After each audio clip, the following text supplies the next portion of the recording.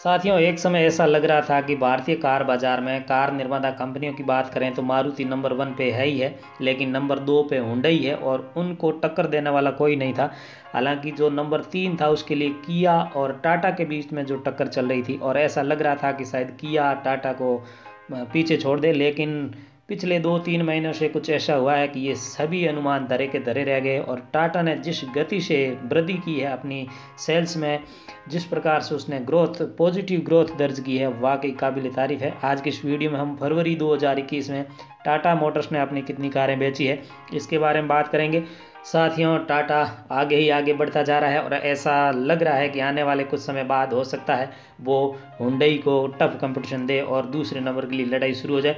खैर, फरवरी इक्कीस की बात करें तो टाटा ने कुल सत्ताईस हज़ार दो सौ पच्चीस यूनिट बेचने में सफलता प्राप्त की है और यदि वर्ष दर वर्ष की तुलना करें, यानी फरवरी बीस की तुलना करें तो उस समय केवल बारह हज़ार चार सौ तीस यूनिट बिकी थी। हालाँकि इस समय तक कोरोना का कुछ झंझट शुरू हो गया था, इसलिए ये आंकड़े कम हैं। लेकिन फिर भी यदि तुलना करें तो 120 परसेंट की ग्रोथ हुई है, जो सबसे शानदार और सबसे मायने रखने वाली है।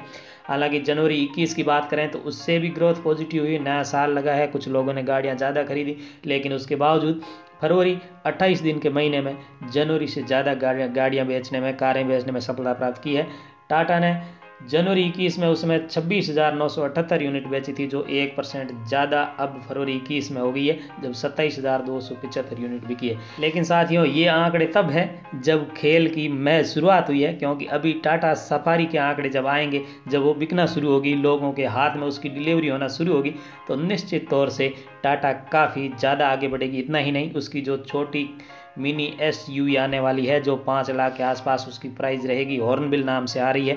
तो वो और ये सफारी आने के बाद, अगले जुलाई के बाद हम ये मान सकते हैं, जो त्योहारी सीज़न आएगा, उसमें हुंडई, किया और टाटा की लड़ाई देखने वाली होगी, हम ऐसा मान सकते हैं। हालाँकि किया अब काफ़ी पीछे रहती दिख रही है। खैर, आने वाला समय बताएगा कि जो तीसरे नंबर पर या दूसरे नंबर पर है, उसमें कुछ बदलाव होता है या नहीं होता है। यहाँ तक आइए आपने इस वीडियो को देखा, इसके लिए आपका बहुत बहुत धन्यवाद।